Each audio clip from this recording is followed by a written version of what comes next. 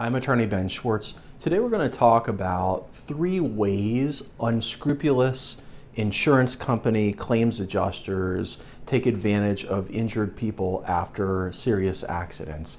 You know, I had this conversation with a friend of mine named Tracy just the other day, and Tracy was essentially telling me that, you know, um, I do a good number of videos, we put them out on the internet, and I talk about how bad it is dealing with insurance companies and I never highlight any of the good things that insurance companies do.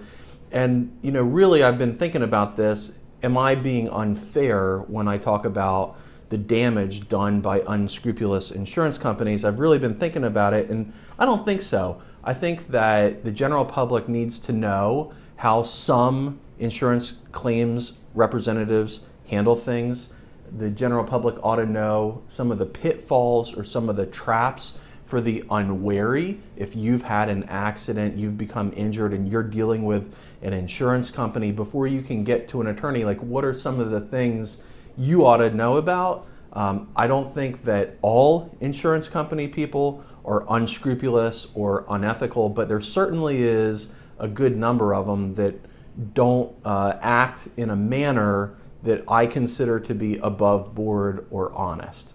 And so today I just want to talk about three things. It's just three things that sort of come to the top of my mind in this conversation I had with my friend Tracy. Um, three things, three ways that insurance companies take advantage of people. Hopefully, these are things that you have not fallen victim to. Hopefully, by watching these, you know, by watching this video or sharing this video, with your friends and family, these are things that you and your friends and your family will never fall victim to. All right, so number one, you know, in my practice, in my law firm, we see a good number of people who come in who have sustained really severe injuries after being injured on the job, you know, sustained really severe injuries after having an accident on the job. And they're coming to us because they're considering making a workers' comp claim. And when I say considering making a workers' comp claim, I would say maybe like eight out of 10 cases, our client is really sort of hesitant about making a workers' comp claim because someone on the job has told them, well, look, if you make a workers' comp claim, you might end up losing your job. You know, we don't want a bunch of workers' comp claims.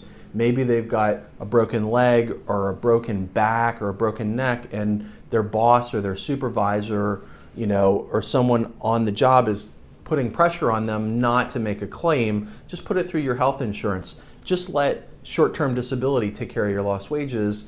And so people come to us and they're really anxious about doing this, or maybe they've talked to the workers' comp insurance company and the claims adjuster has intimated that maybe by completing forms and making the claim, maybe their job will be in peril. Now, I think that in most states in the United States, there's a law in the books called an anti retaliation law that says that if you make a workers' comp claim because you're injured on the job, it's illegal for the employer to take adverse action against you. I do workers' comp claims in the state of Delaware. And I know that we have a law in the books here, and I believe in most states, if not all states, there's an anti retaliation law. So if you've been injured in Delaware, I can tell you that law exists. If you've been injured in another state, get with a workers' comp attorney in the state you know, where you work, where you were injured, and find out what your rights are. But that's one thing that insurance claims reps and employ, you know, people in the employment uh, of, the, of the job will often do or say to try and prevent people from exercising their legal rights and making a workers' comp claim uh, for whatever reason. Another unscrupulous practice that I've seen quite often is what I would refer to as a sucker settlement. You know, uh, you get in a car accident, the at fault driver's insurance claims representative contacts you and they're very friendly and they're very easy to deal with.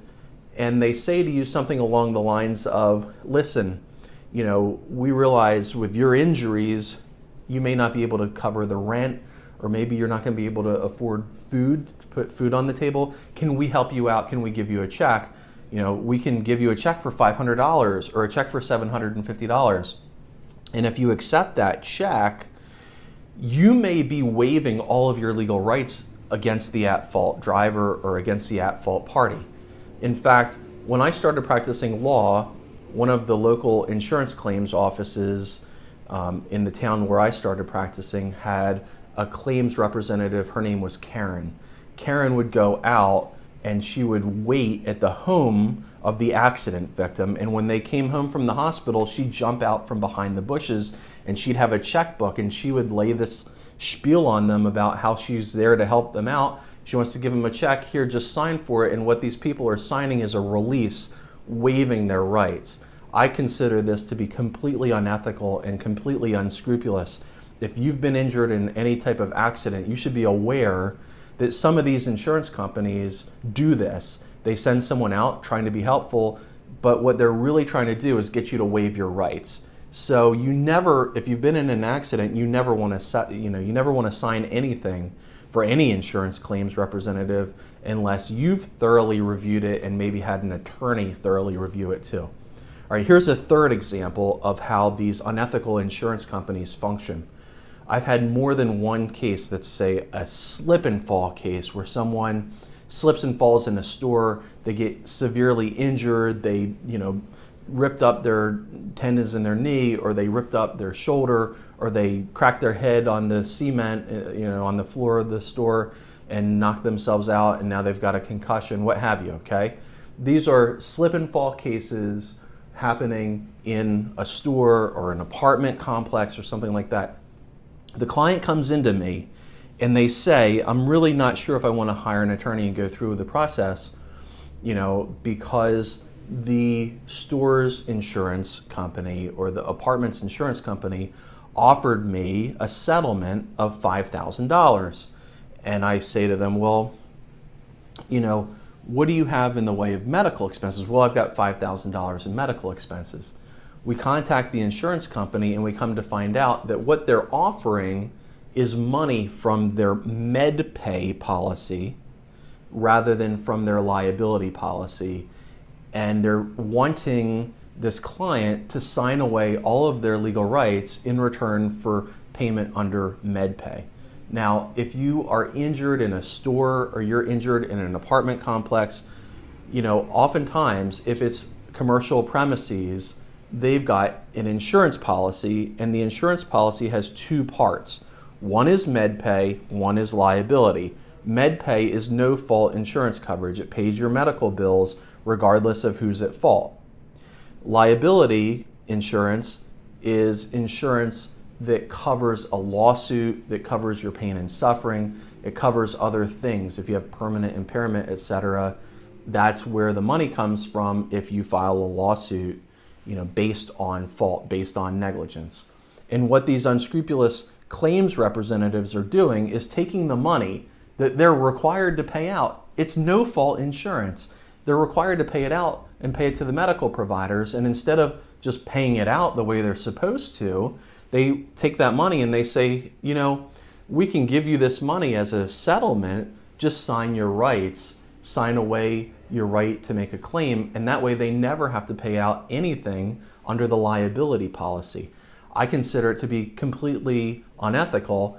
You know, if if that claims representative were your attorney or your doctor or some other professional working for you, they would have an obligation to advise you this is where the money's coming from. We're not doing you any favor. We're paying out the money that we would have had to pay out anyways um, but because they're the adverse parties, insurance company, they don't owe you that obligation in most cases.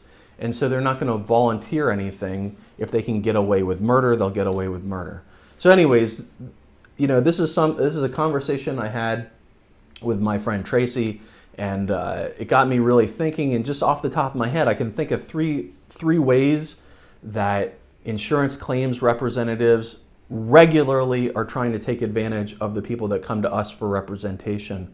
And I think it's bad practice. I think it's something that should stop. Uh, thanks for watching this video. If you, um, if you have had a situation where you've had an unethical or uh, you know a uh, dishonest claims representative take advantage of you or try to take advantage of you, I'd be interested in knowing about it. You know, tell us your story in the comments to this video or send me an email. My email address is ben.schwartz at schwartzandschwartz.com. Thanks for watching.